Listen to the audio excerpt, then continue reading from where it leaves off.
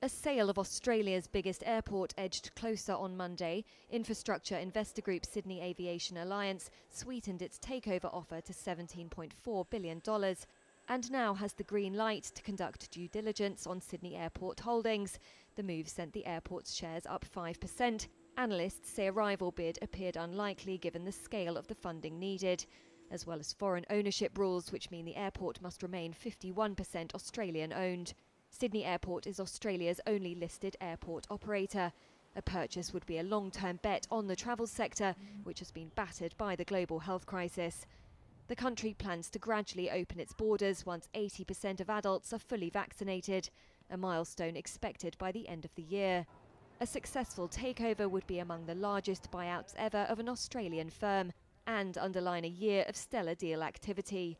The improved offer is an increase of 3.6% over prior proposals from the consortium, both of which were rejected as inadequate.